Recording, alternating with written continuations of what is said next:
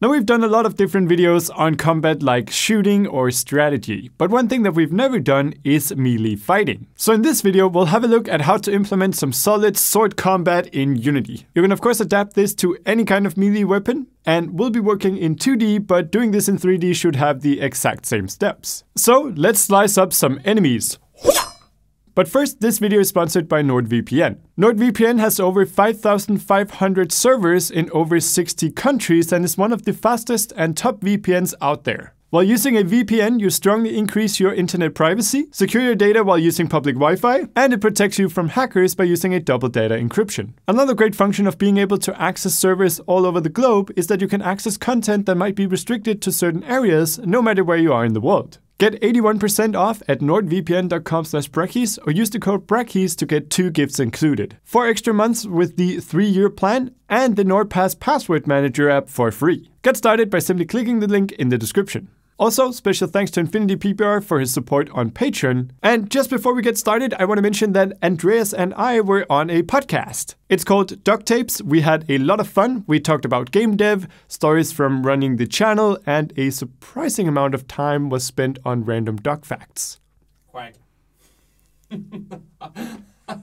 Quack! So check that out using the link in the description, and let's fight! So as you can see, we have a very simple scene here with just a main camera, a ground environment object, a player, as well as a bandit that is currently just standing around. And if we play the game, we can see that the player movement and animation has already been set up. I did this following our videos on movement and animation, so if you don't have that working already, definitely check those out. And those of course also show how to do jumping and crouching, but I chose not to put that in here. You also notice that the bandit is currently just playing an idle animation. There's no logic on him yet. The sprites that I'm using here are free on the asset store. We'll of course have a link to them in the description. The only thing that I'd recommend is that you go and find the sprites and change the pixels per unit to 32 since we're working with pixel art. But you can of course use any kind of art that you'd like. And I think that we are ready to start creating some player combat. So let's go to our player object Let's hit add component and let's create a player combat script. Let's hit create an ad and let's open it up in Visual Studio. And we can just go ahead and get rid of the start method here. We won't be using that. And inside the update method, let's go ahead and check for some input. So we'll write an if statement and say if input dot get key down. And the key that we want to check for is key code dot space. So I'm just going to use the space bar to attack. Now remember the input system is currently being rebuilt. This should work for a good while, but if it's not, definitely check out our video on the new input system. It should be really easy to simply put that in here. Alright, so whenever we press the spacebar, we of course want to go ahead and perform an attack. So let's create a separate function for this and call it in here. Let's just name it attack. So we'll create the function down here, void attack. And in here, we basically want to do three things. We want to play and attack animation. We want to detect all the enemies that are in range of the attack. And then we want to apply damage to those enemies. So let's go ahead and start with the very first one here, which is playing an attack animation. So to do this, we need to first go into Unity, and under our player, we of course have an animator component, which has an animator controller responsible for choosing which animations to play when. Again, this is all part of the animation video, so if this is completely new to you, check that out first. But as you can see in here, we have a very, very simple setup. We have a default idle animation, and we can transition from that to run and back. We of course want to add a whole new animation on top of this, an attack animation. So let's go ahead and find that. Mine is under bandits, animations, and I'm using the light guard as the player here. So I'm simply going to take the light guard underscore attack. Let's select this animation and rename it to player underscore attack. And now we want to be able to attack no matter if we are currently playing the idle animation or the run animation.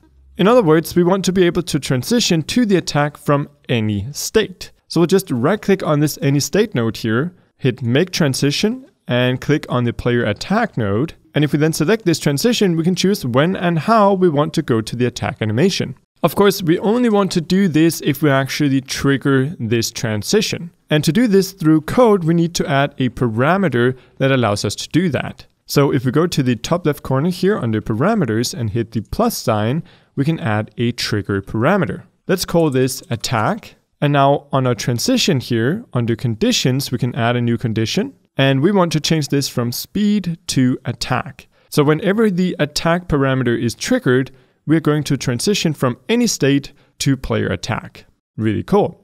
We also want to make sure that we don't have exit time enabled here and that under settings we set the transition duration to zero and this way the transition will happen instantly. And that's actually all we need to do for the animation. Now inside of our script we just need a reference to this animator so that we can trigger our attack animation. So at the very top here let's create a public animator component and let's just call it animator. Then under attack we can go ahead and call animator dot set trigger and then the name of our trigger which is attack. And that's actually all we need to do. If we now save this and go into Unity and select all player, we can see that there's now a field for the animator. So let's just drag our animator in there. Let's hit play. And of course we can move as normal, but if we hit the space bar, we perform an attack animation. You can also see that we're currently not transitioning back, so it just stays in that animation. To transition back, all we need to do is go into our animator and just right click on our player attack and make a transition right back to player idle. And we just want this transition to happen whenever our player attack has finished playing. So if we click on this arrow here, we don't need any conditions, we just want to go straight there. However, we want to make sure that we have exit time enabled and we want to set that to 1 in order to wait the entire duration of the clip and after that, we want the transition itself to be instant. So we'll just set the transition duration to zero. And as you can see, right away, our attack animation goes right back to idle when we finish attacking. So the next thing that we need to do is of course detect all of the enemies that are in range of our attack.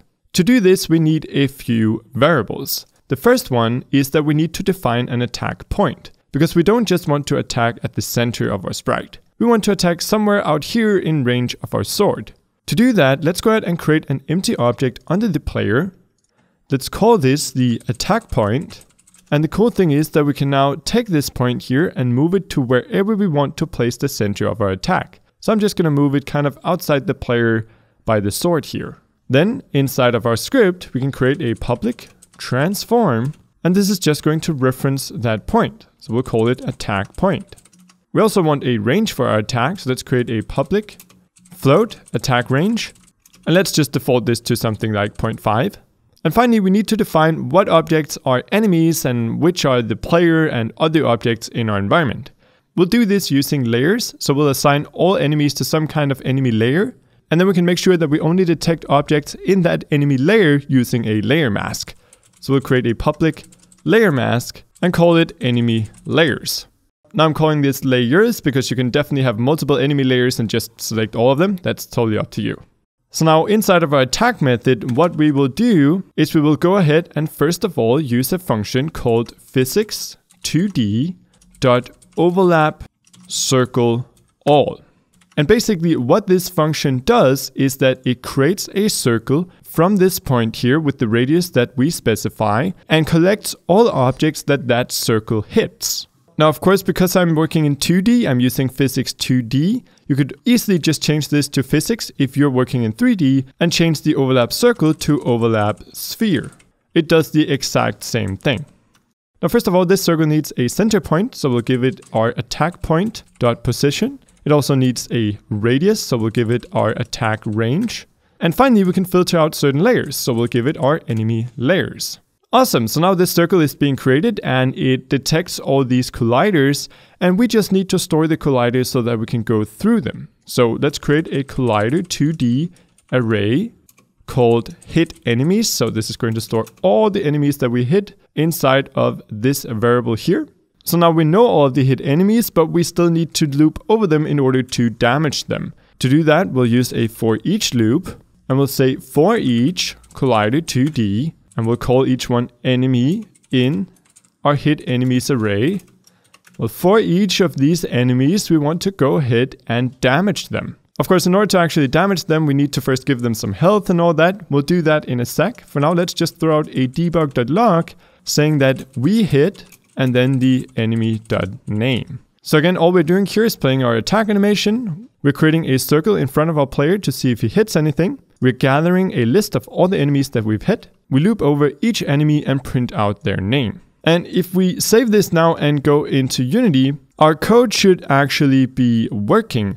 However, as you can see, there's really no way for us to see this radius of our attack point. And so we might have to do a bunch of adjustment until we find the right values for our attack range and place our attack point in the right place. So let's just write a few lines of code that is going to display all this stuff in the editor. To do that, we create a new function called on draw gizmo selected.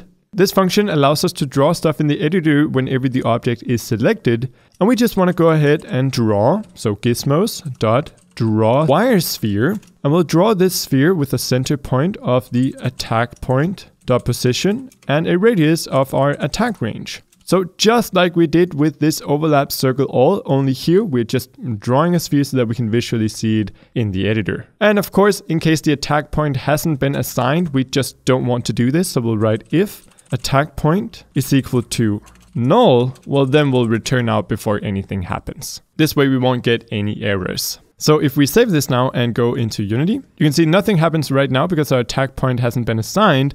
But as soon as we drag that in, there we go. We can see a gizmo now where our attack point is with our attack range. And so we can start to adjust our attack to fit our character. I'm going to decrease the attack range a tiny bit here. And I think that looks pretty good. We can also go ahead and assign enemy layers here. To do that, we first need to select our bandit. And as you can see, I've already created a layer for this. If you don't have this layer, you can simply click add layer, go in and type any layer that you'd like, and then go back to the bandit and assign that layer. And then inside of our player, under enemy layers, we simply need to check off that layer. There we go. And as I talked about, you can of course have multiple layers here if you want. All right, so let's go ahead and try and play test this. So let's hit play. And if we now move over to our bandit and use our attack, we can see that it says we hit bandit. Awesome. So now we of course need to start damaging our enemies. And to do this, we first need to give them some HP. To do that, we'll select our bandit and create a new component and we'll just call this enemy. Let's hit create an add and open it up. I'm going to get rid of the update method here. And at the top, I'm going to create two variables, a public int with our max health, and we'll set this to 100, and a private int with our current health. Then inside of our start function, we'll set our current health equal to our max health. And what we need here is a function that allows us to damage our enemy, which can be called from another script. And because we need to call this from inside of our player combat script, we need to make sure to mark it as public. So we'll create a public void, take damage. It's going to take in an amount of damage as an integer. And all we need to do in here is simply subtract our current health with that amount of damage. We can then play some kind of hurt animation. We'll do that soon. And then we want to check if our current health is less than or equal to zero. Well, then we have died, and so we need to call some kind of die function. Void die. And in here we'll play some kind of die animation, as well as disable the enemy so that he doesn't do things even though he's dead. And also, let's just do a debug.log for now that says enemy died. There we go. And that's all we need to do for our enemy script right now. We can then save that and go into our player combat instead. And in here, whenever we are attacking and we want to loop over all of our enemies, instead of just displaying their name, we're simply going to access them. So enemy, use get component in order to access the enemy component on those enemies, and then call the take damage function we just created. And of course, this takes in a damage amount. We could just put it in here, or we could go to the top and create a variable for that. So let's create a public int called attack damage and set it equal to something like 40. And I'm just going to restructure these a tiny bit. By the way, in order to move around lines like this, I'm holding down Alt and using arrow up and down. It's a really handy shortcut. And so we can put our attack damage in here. And that should be it. If we save that and go into Unity, we can select our bandit and if we go over here in the inspector, we can change to debug mode. And what this allows us to do is actually see private variables. So we can see our current health here. And as you can see, when I hit play, our current health snaps to our max health, which is 100. If I then move over and attack once, it goes down to 60. One more time, it goes down to 20. And the last time it goes to minus 20 and in the console it says enemy died. So now all we need to do is show the enemy being hit and dying using animations. And to do that, we'll first go back to normal mode in the inspector so that it isn't all crazy. And we'll find the animator component here. And as you can see, I have another animator controller here called enemy. And if we double click on that, it's really simple. It just has a default animation here that plays an idle animation. Not much to it. Now what we want to do is be able to go from any state into being hurt and then go from hurt into dying. So to do that, let's drag in the two animations. So this is the heavy guard I'm using here. I'm going to drag in both the heavy bandit hurt and heavy bandit death animations. And let's first of all transition from any state to hurt. I'm going to zoom in a bit here. Let's also transition from hurt to death, or we can transition from hurt back to idle. So that's kind of the way that it goes. We can either be hurt and go back to still being alive, or we can be hurt enough to go to our death animation. And that's kind of the end of the road. Of course, we need to add some conditions to these transitions. So let's create some parameters. First of all, we'll create a trigger called hurt. And this is, of course, just going to trigger the hurt animation. We'll also create a boolean, and this is going to define if we're dead or not. So let's call it is dead, and that's going to be false by default.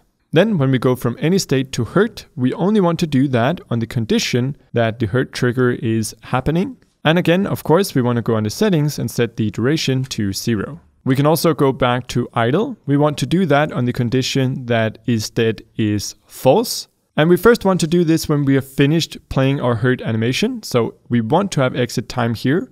We want the exit time to be 1 and the transition duration to be 0. And the same thing for our death animation, except our condition here is going to be that is dead is true. And again, 1 on the exit time and 0 on the duration.